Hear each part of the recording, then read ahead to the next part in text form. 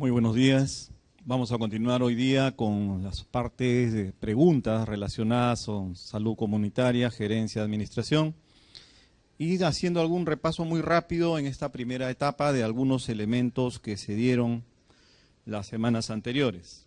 Siempre acordémonos que para el tema de lo que es calidad, pero también lo que es teoría de sistemas, y cuando nos hablan de indicadores de estructura, proceso y resultado, siempre vamos a acordarnos de este tema. Entrada, proceso, salida, que es lo mismo que estructura, proceso y resultado.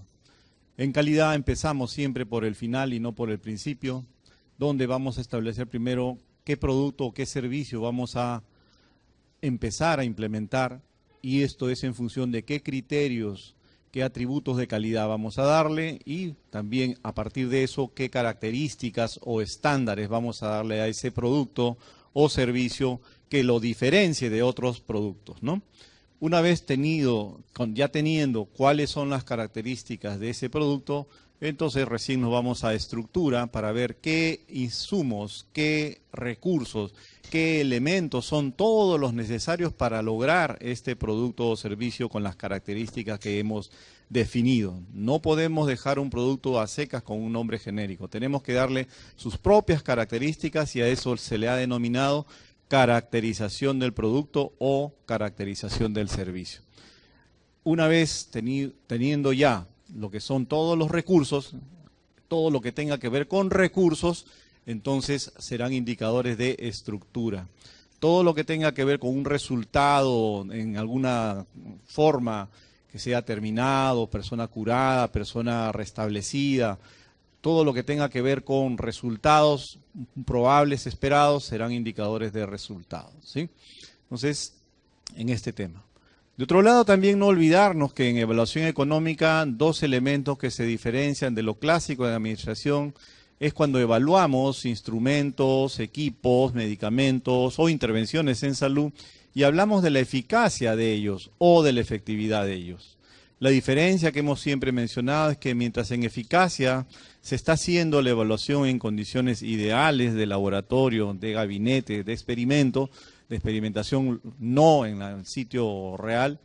Esto, cuando es así, en laboratorio, gabinete, en condiciones ideales, eso se llama una evaluación de tipo eficacia. Estamos haciendo evaluación y análisis de la eficacia del equipo, de la intervención o del el medicamento. Pero en cambio, cuando sí lo colocamos, el instrumento, el medicamento o la intervención, lo trabajamos a partir de lo que es la propia realidad local, en un territorio definido, un territorio real, en condiciones reales, o cuando un medicamento es colocado ya en la población en condiciones reales, eso ya no se llama eficacia, estamos midiendo ahí la efectividad. Y eso es lo que menciona estas partes, las dos primeras líneas. ¿no? La eficacia es la medida del resultado obtenido por una intervención en un problema de salud concreto en condiciones ideales, o sea, de laboratorio, no son las verdaderas. Efectividad es la medida del resultado obtenido por una intervención en un problema de salud concreto en condiciones habituales. Esto significa en condiciones reales, las verdaderas, las que existen día a día. Cuando estamos pidiendo, entonces les digan en condiciones ideales del laboratorio experimentales, será un análisis de tipo eficacia. Y si estamos mirándolo directamente en condiciones reales, será un análisis de tipo efectividad. ¿Ok? Sigamos. Calidad, capacidad para satisfacer necesidades explícitas o implícitas. Implica cumplimiento de requerimientos y sobrepasar las expectativas del usuario. Este esquema no lo olviden porque si bien ya no se usa mucho, pero es un manejo sindrómico que todo el mundo tiene que conocer para saber si estamos frente a un paciente con enfermedad muy grave, neumonía grave o neumonía seca simplemente o no neumonía. Para clasificarla como enfermedad muy grave, el flujograma nos lleva a tener en cuenta si existe alguno de los signos de peligro generales como dejó de mamar bien, anormalidades en el sueño, anormalmente somnoliento, convulsiones, estudio en reposo, fiebre o hipotermia. Entonces, estridor en reposo ya no es un signo tampoco neurológico. Entonces, no solo son signos neurológicos, ¿cierto? Sino también este conjunto. Cualquiera de ellos, si es la respuesta sí, nos va a llevar directamente al diagnóstico sindrómico de enfermedad muy grave.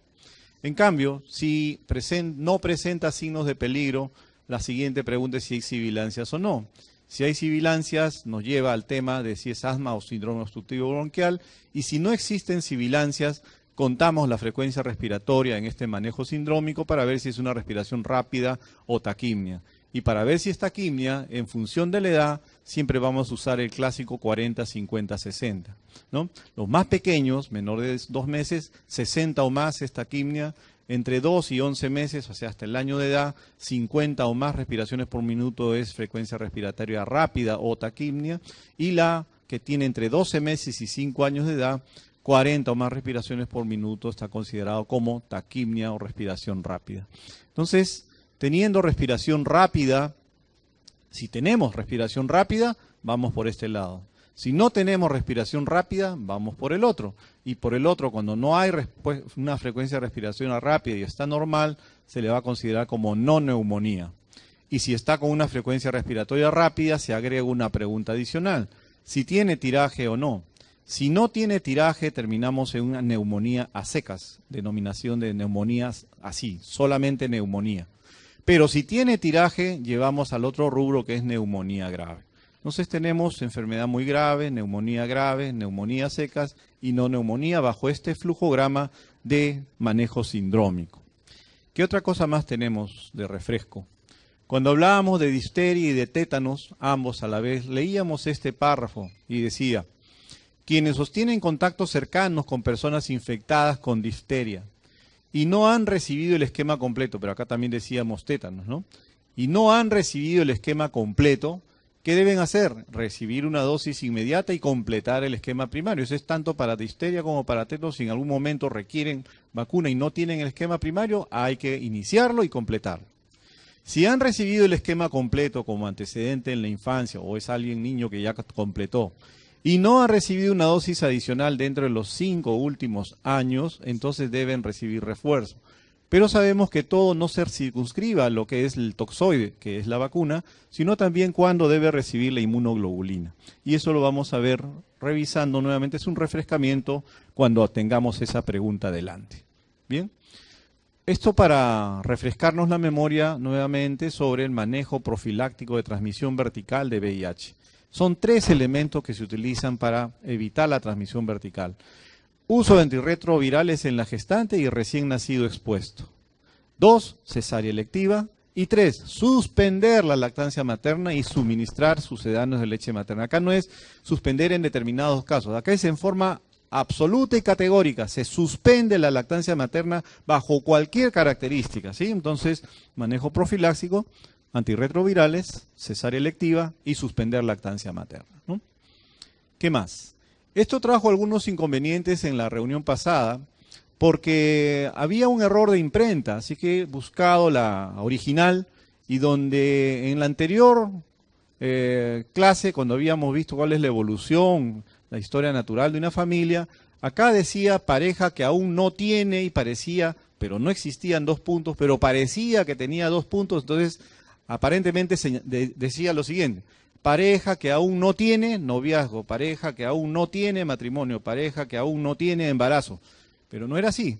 La original se había comido, en la original sí aparece esto, y entonces no es dos puntos, es pareja que aún no tiene hijos, punto seguido. Y está incluido la gente que tiene noviazgo, la que está en condiciones de matrimonio o convivencia, y la que tiene embarazo sin haber dado a luz todavía a su niño. Entonces, siempre insistíamos que es cuando todavía el niño no ha nacido, ahí todavía la familia está en formación. Nace el primer niño y vienen los demás, ya se expande en número, todo es la fase de expansión.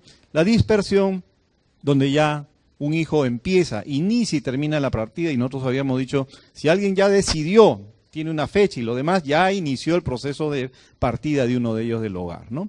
Y va desde el primero hasta el final y la familia en contracción cuando ya la, la pareja otra vez se queda sola. Empecemos entonces, vamos a ver. Preguntas. ¿Cuál es la actividad básica del proceso de la administración de recursos humanos que compara el desempeño laboral de la persona con los parámetros o los objetivos establecidos por el puesto de dicha persona? Hay que centrarnos bien qué cosa está tratando de preguntarnos, ¿no? Cuando hay muchas preguntas, entonces podemos marearnos.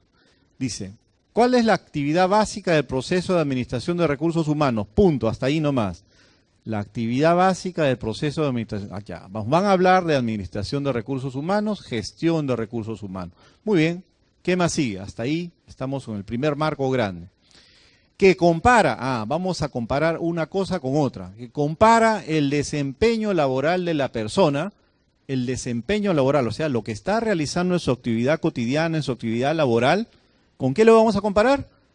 Con los parámetros o los objetivos establecidos para el puesto de dicha persona. O sea, cuando una persona, ¿se acuerdan cuando hablábamos de organización del ROF, que son las funciones de cada una de las unidades orgánicas, y el MOF, no la organización de funciones, que son las funciones de cada, ¿qué cosa? Ya no es unidad orgánica, ahí es funciones de cada puesto de trabajo, el MOF, la unión, funciones de cada puesto de trabajo. Entonces, hay un puesto de trabajo dentro de un departamento, dentro de una subgerencia, dentro de una oficina, hay puestos de trabajo, puesto de secretaria, puesto de médico, puesto de ingeniero, etcétera. Los puestos de trabajo tienen funciones. Y para que alguien esté en ese puesto de trabajo, aparte de cumplir, para hacer esas funciones necesita determinadas competencias para que haga bien esas funciones. Entonces, ya uno en cada puesto de trabajo, cuando vas a la parte del PODC en organización, ya tiene que saber en ese puesto de trabajo qué es lo que tiene que hacer la persona cuando se hace la convocatoria, gana el concurso y llega al puesto de trabajo, le hacen inducción y empieza a laborar. Esa persona tiene que saber qué va a hacer, qué funciones va a cumplir, cómo las va a hacer, hasta cuándo la va a hacer, cuál es su horario de trabajo, cuáles son sus herramientas de trabajo que va a tener para hacerlo de la mejor manera. Ese puesto de trabajo entonces le va a dar también tareas, le va a dar objetivos, que es el jefe el que le va a decir, hoy día empiezas, para esta semana tu trabajo es tal, tal. Le fija objetivos preestablecidos. Hay los generales, existen los generales, pero también los específicos, ¿sí? Entonces, ¿con qué vamos a comparar? Con los parámetros o los objetivos establecidos del puesto en dicha persona. O sea, tenemos que dentro de la gestión de recursos humanos vamos a comparar dos cosas. Hay un puesto de trabajo que tiene propios objetivos preestablecidos. Y por otro lado, ¿con qué lo vamos a comparar? Si esa persona que está en el puesto de trabajo realmente está logrando llegar a esos objetivos preestablecidos. ¿Ok? Entonces es una comparación de lo que se estableció con lo que la persona hace. Ok, entonces ahora sí, vamos a ver cuál es la actividad, el proceso de gestión y todo lo demás. ¿Esta cómo se denomina? Supervisión y monitoreo podría ser. No la desechemos porque en lo que es control, monitoreo es un registro permanente de las actividades que se realizan y esto se hace a través de indicadores, ¿no es cierto? Esto podría ser una de ellas, ¿no es cierto? El desempeño laboral, le pongo un indicador de cómo va en su desempeño y puedo estar monitoreando. Supervisión, pero la supervisión no es una acción de tipo fiscalizadora, como hemos repetido innumerables veces.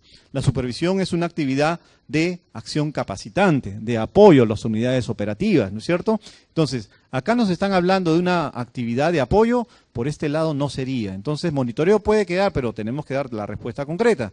Ok, se queda tibio, ¿no? Planificación de recursos humanos, esto no va con planificación. Incremento de la efectividad, tampoco va con ello. Verificación de referencias, menos, no tiene nada que ver. Evaluación de desempeño, ajá. ¿Qué cosa es evaluación? Cuando hablábamos de control, hablábamos del SME, supervisión, monitoreo y evaluación, ¿no es cierto? Y la auditoría aparte. Esa es la función control dentro del PODC, ¿cierto? Entonces, control decíamos, monitoreo, registro continuo, ¿no es cierto?, de alguna actividad que para nosotros es importante y tiene que sonar la alarma. Suena la alarma y se actúa en función de supervisión para tratar de dar apoyo local para restablecer la condición anterior antes que suene la alarma. Y evaluación del SME, función control. ¿Qué cosa es evaluación? Es mirar si los objetivos que me tracé se están cumpliendo o no. O sea, constantemente estoy comparando con mi sistema para ver si estoy logrando llegar a los objetivos planteados o metas que he planteado. Entonces, evaluación del desempeño. Estoy comparando y viendo si están llegando determinados objetivos de desempeño. Sí, esta es una evaluación. Estoy viendo si los objetivos de un determinado y desempeño de una persona es en relación siempre a un puesto de trabajo.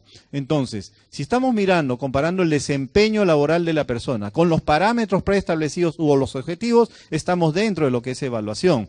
Y si estamos viendo el desempeño laboral, eh, definitivamente es una evaluación de desempeño frente a lo cual estamos en esta pregunta. Hemos dado una vuelta completa de lo que es función control, donde está el monitoreo, la supervisión y la evaluación. y también un poquito de recurso humano a partir del puesto de trabajo, que las funciones del puesto de trabajo cuando se juntan nos dan el MOF, Manual de Organización y Funciones, y cuando las funciones son de una unidad orgánica, la sumatoria de todas ellas nos da un ROF, Reglamento de Organización y Funciones. Bien, el grado en que una intervención origina un resultado beneficioso en condiciones experimentales corresponde a eficacia, efectividad, eficiencia, costo-beneficio, costo-efectividad. Si nos dijera en condiciones reales, verdaderas, ¿cuál sería la respuesta?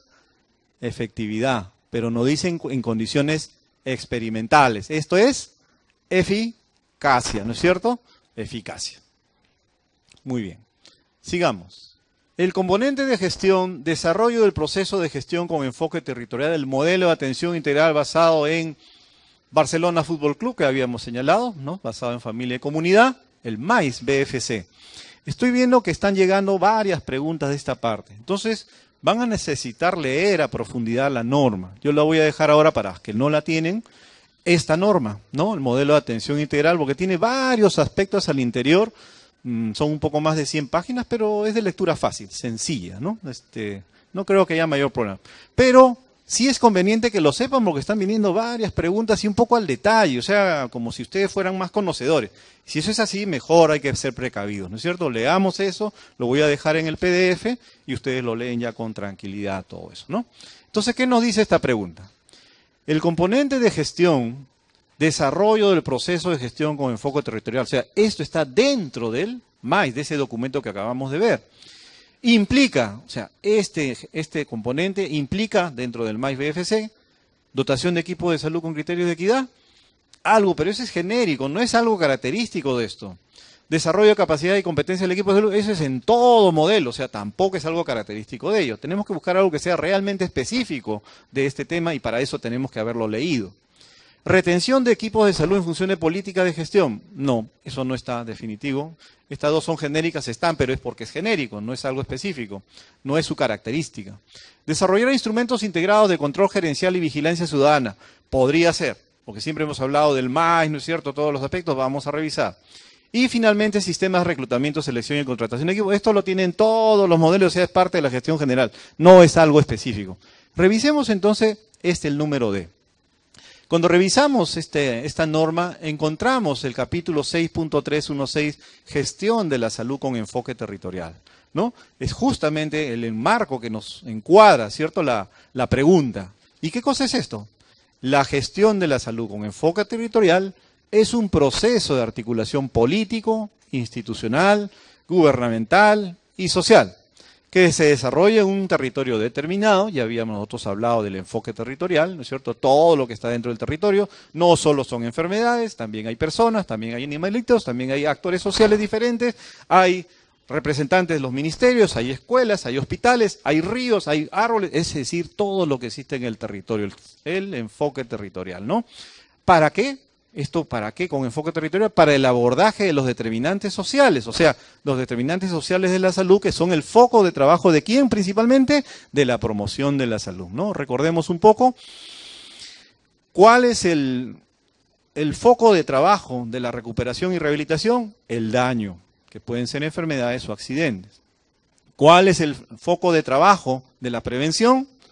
Los factores de riesgo. ¿Y cuál es el objeto de trabajo de la promoción de la salud? Los determinantes sociales de la salud. Esos son los focos de trabajo de cada uno de esos tres. La recuperativo, la parte preventiva y la parte de promoción de salud. Entonces acá nos habla de un enfoque territorial. Estamos dentro de lo que es el MAIS BFC, basado en familia y comunidad, y donde toman un enfoque territorial para un abordaje de los determinantes sociales. O sea, si están en un territorio y abordan los determinantes, realmente cogen todo lo que está dentro del territorio y les va a permitir trabajar eso. Si trabajaran solo con el enfoque de daños y solo ven enfermedades, ¿para qué les sirve entonces si hay animalitos, si hay árboles, si hay medio ambiente contaminado? No, no les serviría de nada. Entonces, acá están haciendo un enfoque territorial para mirar primero el abordaje de determinantes sociales, que en suma si los factores de riesgo son el porqué de las enfermedades, los determinantes sociales de salud y promoción de la salud se busca en la causa de las causas, ¿sí? Por eso se llama también así los determinantes sociales, son las causas de las causas definidas de algunas enfermedades. ¿A fin de qué? de optimizar el nivel de desarrollo humano de la población. O sea, todo esto es lo que suma en tres líneas lo que hace la gestión de la salud con un enfoque territorial que en realidad siempre debimos haber hecho, siempre nos debieron haber enseñado, pero casi nunca nos han enseñado, ¿no es cierto? Eso esperamos que las universidades cambien y varíen hacia este enfoque que ya empiezan a dar otra forma de manejo en la salud pública, que la salud pública significa la salud de todas las poblaciones, sin excepción, todas las poblaciones. ¿Qué más dice acá? Esto, la gestión de salud con enfoque territorial, se ejecuta a todo nivel de gobierno. ¿Cuáles son los niveles de gobierno? El gobierno nacional, ¿qué más viene? El gobierno regional y después viene el gobierno local, que es el gobierno municipal. O sea, en los tres niveles de gobierno se trabaja esto, ¿no? Y con participación de todos los niveles de gestión del sector salud, macrogestión, mesogestión, microgestión, inclusive hasta nivel de establecimiento. O sea, no solamente va a la cabeza de red o la cabeza de microred, no el establecimiento por sí mismo también tiene que participar. ¿Y qué cosa está implicado en esto? Gestión de salud con enfoque territorial, una planificación estratégica integrada, acciones conjuntas, sistema integrado de control gerencial y conducción. Sistema integrado de control gerencial. Ah, ya me está diciendo algo, ¿no es cierto? Pero como lo demás viene en varios párrafos, mejor me fui de frente a la gráfica. Y en la gráfica está todo. El proceso de gestión de la salud con enfoque territorial. La figura 12. Acá nos dice todo lo que implica este modelo de gestión de salud con enfoque territorial dentro del documento norma del MAIS BFC. Y señala que hay que realizar un plan estratégico donde se establecen objetivos estratégicos, determinantes sociales de la salud y acciones priorizadas. Compromisos entre quiénes? Entre el gobierno nacional, regional y local, ¿se acuerdan que hablábamos los tres niveles de gobierno? ¿Con quién? Con la sociedad civil y con la población. O sea, van a firmar compromisos. ¿Y estos cómo se llaman? Se llaman acuerdos de gestión. O sea, el enfoque de gestión con enfoque territorial del MAIS BFC, uno de los elementos clave es que firman compromisos entre el gobierno y la sociedad civil que se denominan acuerdos de gestión. ¿Sí? ¿Y qué otra característica tiene esta gestión con enfoque territorial? Que termina luego de que han planificado todo y van a ir a la parte de cómo voy a controlar si estoy yendo bien por lo planificado, van a elaborar un sistema, perdón, van a elaborar un sistema integrado de control gerencial y dónde está en forma muy especial y por eso lo sacan para señalarlo en forma explícita, donde está incluido la vigilancia ciudadana, que cuando hablábamos nosotros de participación ciudadana decíamos que vigilancia ciudadana es una de ellas, ¿no es cierto?, para ejercer el control. Entonces, este nombrecito, sistema integrado, este modelo tiene con enfoque territorial, tiene dentro de su componente un sistema integrado de control gerencial con vigilancia ciudadana, es una característica de este modelo. ¿Y eso está escrito en nuestra pregunta? Veamos. ¿Qué dice? Componente todo lo demás. Implica, este habían dicho son genéricos, genéricos, y la de desarrollar instrumentos integrales de control gerencial y vigilancia ciudadana. O sea, sí. ¿Esa es la respuesta? Sí, esa es la respuesta. Por eso les decía, vamos a tener que leer esta norma para poder ver por dónde va la respuesta. Sigamos. Un centro de salud para el año 2013 dispuso de 5.000 horas médico, utilizó 4.000 y realizó 20.000 consultas médicas. ¿Cuál es la productividad? Insistimos, ya deben tenerlo todos clarísimo, la diferencia entre lo que es el indicador de productividad y de rendimiento, ¿no es cierto? Los dos arriba tienen, ¿qué cosa? Las consultas médicas o total de consultas. Y abajo, uno de ellos coloca las horas disponibles y el otro indicador coloca las horas realmente realizadas, ejecutadas en forma efectiva. ¿Sí? ¿Cuál es cuál? Y además, ¿por qué? Porque también se usan sinónimos en los enunciados, ¿no? Sinónimos. Miren, dice el año 2013 dispuso de 5.000 horas y utilizó 4.000. Dispuso significa que programó y son las horas disponibles, o sea, tenía 5.000 horas disponibles y de las 5.000 que él dispuso el año 2013, que las programó, solo utilizó 4.000. Ahí está la diferencia. Dispuso de 5.000, pero al final del año vio que solamente había utilizado 4.000. Entonces, en un indicador va a ser las horas que realmente se ejecutaron, que serían las 4.000 y en otro indicador va a ir las horas disponibles, las que programó, que en este ejemplo dice 5.000. ¿sí? ¿Qué nos preguntan? La productividad. ¿Y cuál es la fórmula de productividad? Acá están las dos. La productividad en el denominador las horas disponibles y el rendimiento abajo van las horas realmente ejecutadas, realizadas. ¿sí? Si nos preguntaran cuál es el rendimiento de todo esto que está acá, ¿qué tendríamos que colocar? 20.000 consultas entre rendimientos, son horas ejecutadas entre 4.000. 20.000 entre 4.000, ¿cuánto da? Siempre haciéndolo mentalmente, ¿no es cierto? 4.000 le, le vuelo los tres ceros, al 20.000 le vuelo los tres ceros, ¿y cuánto queda? 20 entre 4, ¿cuánto es? 5. Si es que me preguntaran rendimiento, pero me están preguntando productividad. Y productividad, entonces van a ser 20.000 entre disponibles. ¿Cuántas eran disponibles? 5.000. ¿Cuánto es 20.000 entre 5.000? Vuelo los tres ceros, vuelo los tres ceros. ¿Cuánto me queda? 20 entre 5 es 4. Y esa es la productividad. Veamos entonces la pregunta. Efectivamente es 4 la respuesta, si es productividad. No se olviden.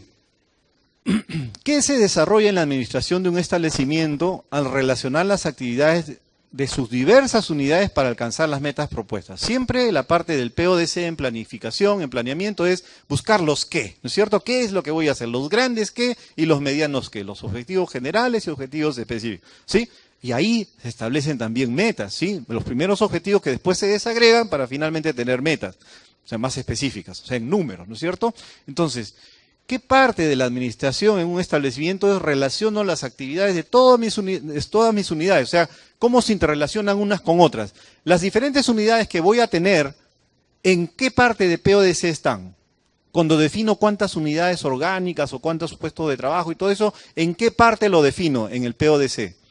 En organización. Porque en planeamiento lo que hago yo es identificar qué voy a hacer, pero todavía no digo si voy a tener 10 gerencias, 5 gerencias, una sola gerencia y mil sugerencias, eso todavía no lo hago en planeamiento. En planeamiento solo defino qué voy a hacer.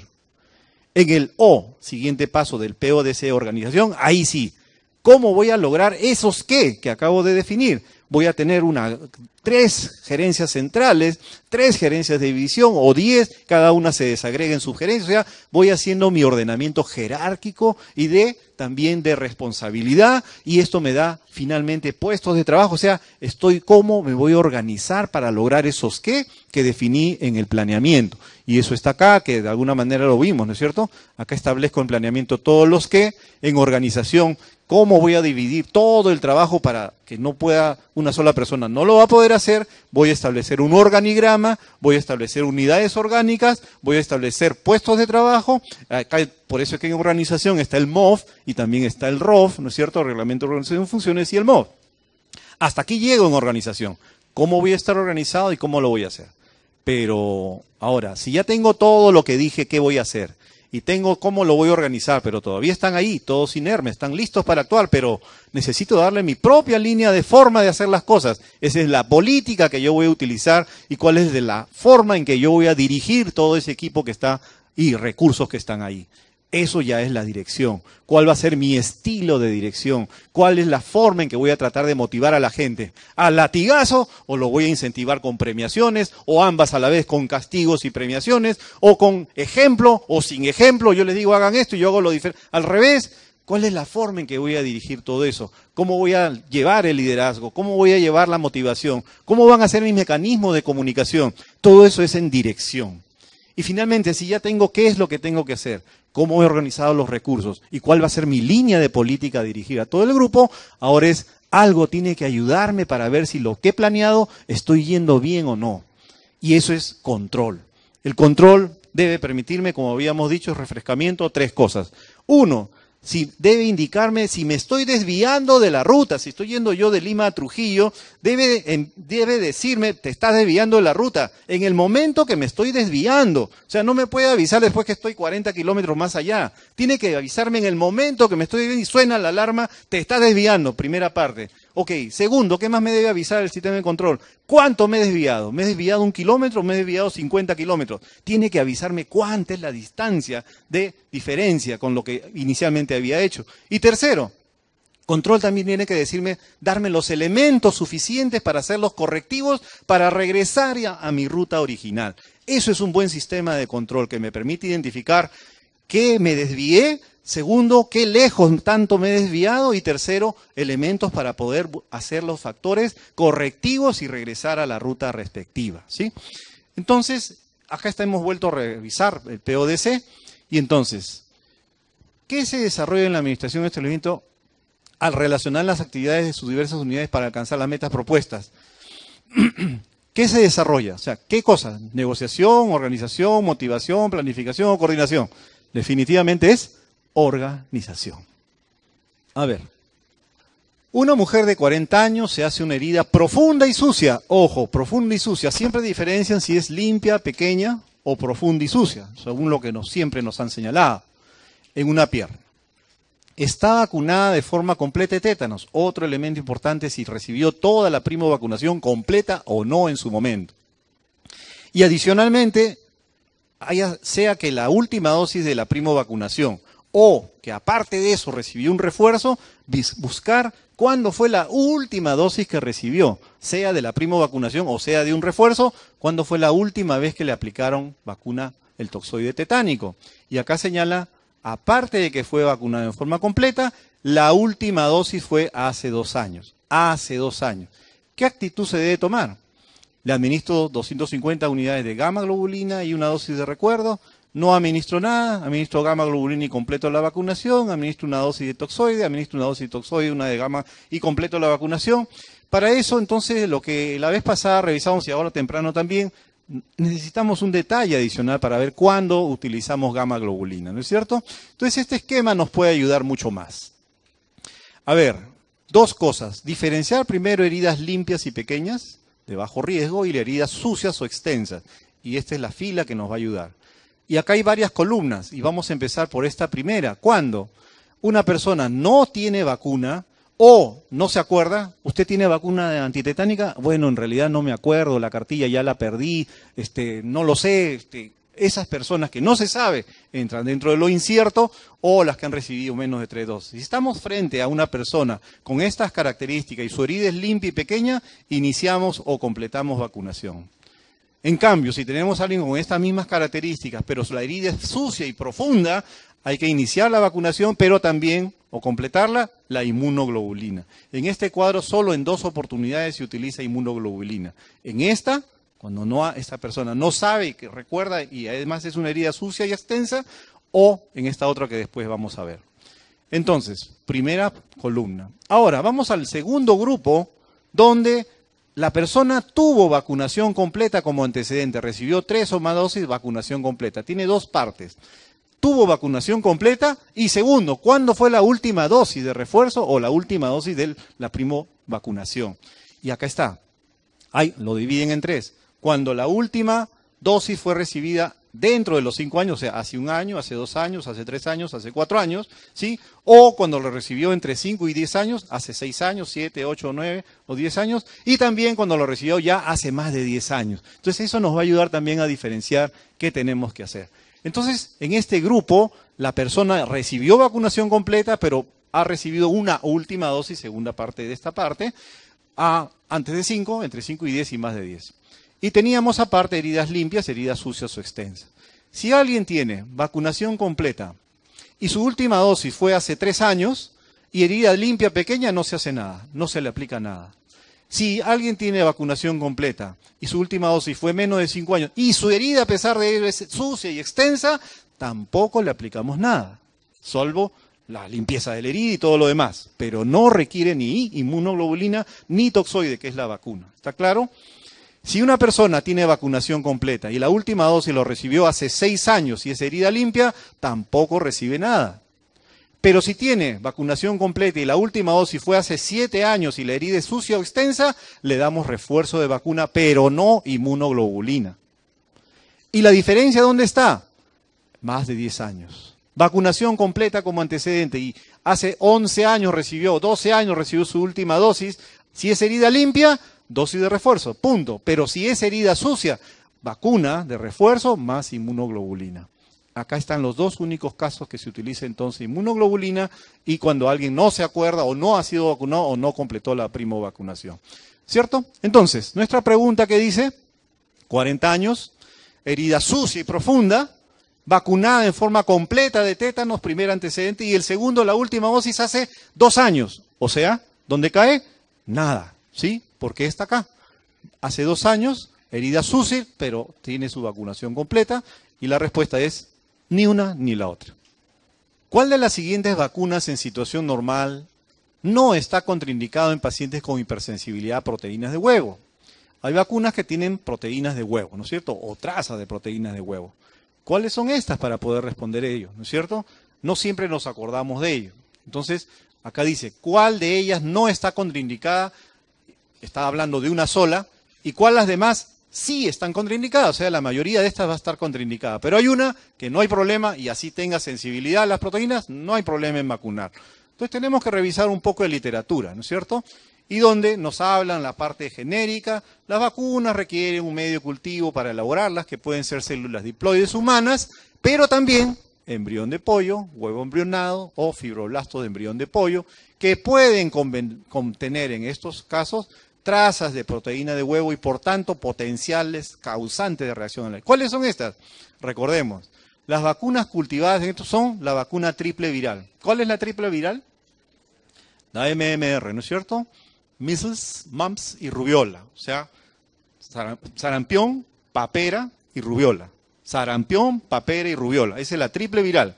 ¿sí? Entonces, si a alguien le van a vacunar con un refuerzo, es un niño, y tiene alergia al huevo, ¿le van a poner un triple viral? No pueden.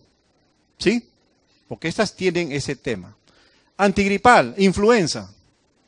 Alguien tiene acción alérgica, proteína de huevo, no podemos darle la vacuna de influenza. La vacuna frente a fiebre amarilla, también en forma absoluta. Fiebre amarilla tiene trazas de proteína de huevo. No podemos darle a alguien que es sensible a la proteína de huevo. Y finalmente también la antirrábica, las que tienen que ver con proteína de huevo, no, no las de células diploides, que es diferente, la antirrábica clásica y la vacuna frente al virus de encefalitis transmitida cardiopata, que este es más, acá en nuestro medio no existe, ¿no? Entonces, ¿cuál de las siguientes no está contraindicada? A ver, ¿alguien tiene sensibilidad a la, proteína de huevo? ¿Le ponemos vacuna de gripe? No, que es la influencia. No le ponemos. O sea, esta está contraindicada, no es la respuesta. Tosferina, ¿tiene, de acuerdo a lo que hemos revisado, ¿tiene proteínas de huevo? No. Entonces sí podríamos indicarla, vamos dejándola ahí. Sarampión, ¿está dentro del triple viral? No, no podemos darla. Fiebre amarilla, tampoco, porque tiene proteínas. Parotiditis, tampoco. Entonces, respuesta, tosferina. Es la que sí podemos darle, así haya sensibilidad, porque no tiene trazas de huevo. ¿Cuál de las siguientes medidas preventivas no es necesaria que adopte una embarazada serogénica frente a toxoplasma? El toxoplasma se contagia por, ¿cuál es el reservorio? El gato, la carne del gato, ¿no es cierto? Entonces, pero hay gente que come gato, ¿sí? Entonces, el gato, hay gente que come carne medio cruda, medio azar, ¿no? Tiene que ser la carne bien cocida, si la come. Segundo, ¿por dónde también elimina? ¿El gato elimina también eh, el germen? Sí, en las heces del gato, ¿no es cierto? Pero también hay una diferencia. En cuanto cae las deposiciones del gato en la arena, donde caiga, ¿esto inmediatamente es infectante? No. Tiene que pasar unas horas. Pero alguien que ve una, las heces del gato, uno cómo puede saber si ha sido reciente o no? No se puede saber. Tenemos que tomarla como de, alta, de alto riesgo, ¿no es cierto? Entonces, no dejemos que los niños manejen o manipulen la limpieza de su gato, ¿no es cierto? Y las personas adultas también tienen que usar sus medidas de protección respectiva, porque no sabemos cuál de esos gatos tienen toxoplasma, ¿no es cierto? Entonces, ¿evitar el contacto con gatos desconocidos? Sí, tiene que evitarlo, es una embarazada. Lavarse manos cuidadosamente tras manipular carne cruda, sobre todo en las zonas donde hay temas de gato con toxoplasma, por supuesto que sí, y donde consumen carne cruda de gato. Evitar la ingestión de carne cruda o poco hecha, también es necesario, evitar el contacto con los enfermos por su riesgo de transmisión aérea. ¿Se transmite por vía aérea el toxón? No se transmite, pues, ¿cierto? Y la última, evitar transfusiones, también. O sea, la respuesta es esta. Esa no es la que medida preventiva. Siguiente. Con relación a la enfermedad meningocócica, señale la falsa, o por lo menos la menos la menos falsa, o sea, la señal es la falsa, la que está más incorrecta, ¿no? ¿Se transmite por contagio a través de gotas de flush? Sí, efectivamente, a través de la parte nasofaringe específicamente, ¿no es cierto? Los gotitos de nariz y faringe. El sujeto enfermo es la principal fuente de infección. Acá puede haber un poco de contradicción o controversia, vamos a dejarla ahí. El diagnóstico bacteriológico es el único que puede confirmar la etiología, efectivamente. ¿Es una enfermedad de declaración obligatoria nacional? Sí. La clínica agrupa síndrome infeccioso, meningo y neurocefálico, sí, o sea, la que nos está quedando es esta, que sería la controversial. Sujeto enfermo es la principal fuente de infección, pero es que el sujeto enfermo no es necesariamente el principal fuente de infección, sino todos los que estuvieran, todos caerían con meningocosemia, ¿no es cierto? Y no es así. ¿Quiénes son los que están en altísimo riesgo de acuerdo a las normas CDC y también de OPS relacionan a que los que tienen que recibir quimioprofilaxis son los que han estado con una cercanía muy grande o en sitios donde están, en sitios donde están muy hacinados, ¿no es cierto? Entonces, en el caso de los médicos, nosotros, por ejemplo, no recibe quimioprofilaxis los que han estado alrededor, sino los que han estado expuestos al, a la parte nasofaringe. Ejemplo, los que tuvieron que dar respiración boca a boca o los que tuvieron que hacer RCP intubando al paciente, ¿no? Ellos definitivamente sí tienen que recibir quimioprofilaxis. Entonces, esta es la que menos de todo ello el sujeto por sí mismo no es la principal fuerza. Si bien se le aísla en un momento, está en tratamiento, no está dentro de las características tampoco de cuarentena que también anteriormente habíamos revisado. ¿Sí? La respuesta es esta. sujeto enfermo la principal fuente de infección está declarada como la falsa dentro de todas. Otra. Acude de urgencia una joven de 24 años con un corte de cuchillo en un dedo. Cuchillo en un dedo. Corte de cuchillo en un dedo. Un dedo es chiquito, ¿no? No hay... No es muy profundo, pero podría alguien clasificarlo como profunda, ¿no? Que estamos viendo heridas pequeñas y no profundas y sucias. A ver, será sucia, dice que la herida es limpiada y suturada inmediatamente, o sea, no dejamos que se, ensucie, rápidamente la limpiamos. O sea, es una herida y que es limpia porque la limpiaron bien, ¿no es cierto? Hasta ahí vamos. En la anamnesis nuestro paciente refiere que ha sido correctamente vacunado, o sea, tiene buena vacunación completa, primo vacunación, y que la última la recibió a los 18 años de edad. 18 años de edad, ¿son más de 5 años? ¿De 24 a 18? Sí, ¿no es cierto? ¿Qué dice entonces? ¿Qué tendríamos que hacer? Revisando una dosis de recuerdo, le administramos vacuna ni una ni otra, iniciamos vacunación de nuevo, primera y después la... y no administramos gamma, administramos solamente gamma globulina, y habíamos dicho que las únicas para administrar gamma globulina eran si eran más de 10 años, si eran sucias, ¿no es cierto? O si no se sabía si tenía una vacunación premi, también era sucia. O sea, en ambos casos, las dos únicas alternativas para colocar inmunoglobulina cuando la herida era sucia, ¿no es cierto? Amplia y sucia. Entonces no estaría cayendo. Y en lo que es la vacunación, ¿qué tendríamos que hacer? ¿Tendríamos que darle un refuerzo o no? Vamos a ver, es una herida limpia. Ojo, limpia y pequeña, vacunación completa. Y tiene entre 5 y 10 años, ¿sí? ¿Qué cosa dice acá? Nada, ni una ni la otra. ¿Está claro? ¿Sí? ¿Ok? Y esa efectivamente es la respuesta. De 18 a 24 años es menos de 10 años de diferencia. No se administra ni vacuna ni inmunoglobulina.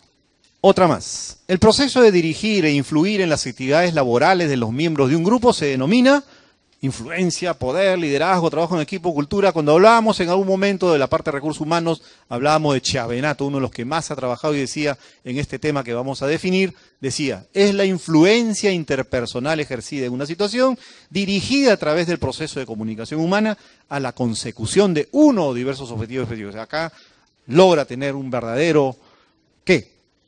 ¿Qué cosa es lo que tiene? Liderazgo. ¿ok?, el poder, el proceso de dirigir e influir en las actividades laborales, eso es liderazgo. No es poder, no es influencia, es liderazgo.